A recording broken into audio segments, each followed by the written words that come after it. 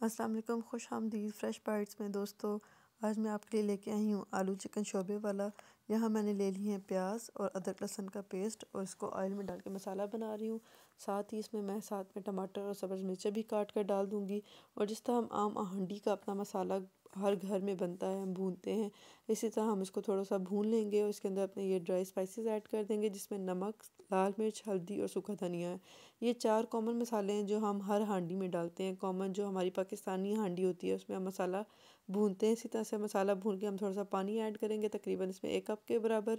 और इस तरह से जब जोश आएगा तो मैं इसमें चिकन ऐड कर दूँगी। आप भी इसमें चिकन डाल के इसको थोड़ा सा इस तरह चम्मच हिला के अच्छी तरह मिक्स कर लीजिए और फिर इसको हम प्रेशर कुकर में वेट दे देंगे। तीन मिनट के लिए मैंने वेट दिया था और चिकन इसमें थोड़ा सा गल गया अब बाकी जो पानी इसके अंदर मौजूद है वो खुश करेंगे और अच्छे से चिकन को हम भून लेंगे। और चिकन को भूनने की सबसे अच्छी निशानी यही है कि जब भुन जाता है इसके ऊपर आपको घी या ऑयल नज़र आ जाएगा। अब मैं इसमें ऐड करने वाली हूँ सूखा धनिया और पिसा हुआ गरम मसाला। इससे खाने में बहुत अच्छी लजीज खुशबू आती है। मैंने सब्ज़ मिर्चें भी मोटी मोटी काट के डाली थी कट्स लगा के डाली थी जो मैं भून के निकालूँगी। और ये अब ऑयल आ चुका है इसके ऊपर। इसका मतलब है हमारा मसाला भून चुका है हमारा चिकन अच्छे तरीके से भून चुका है और इस, इसकी इतनी खुशबू अच्छी हो जाती है ना।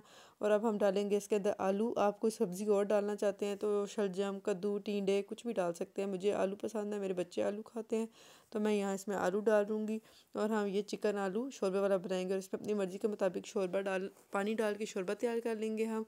और फिर अब आप इसको थोड़ी देर के लिए फिर दम पे रखते हैं या वेट लगा दें ताकि इसमें आलू गल जाएँ। और जब ये रेडी हो गया तो धनिया, पुदीना डाल दें इसके ऊपर। अगर धनिया डालना है सिर्फ़ धनिया डाल दें आप। बहुत लजीज, खुशबूदार आलू गोश्त तैयार है। मेरे चैनल को लाइक सब्सक्राइब और शेयर कीजिए और जितना हो सके इसको आगे आगे फॉरवर्ड कीजिए। शुक्रिया।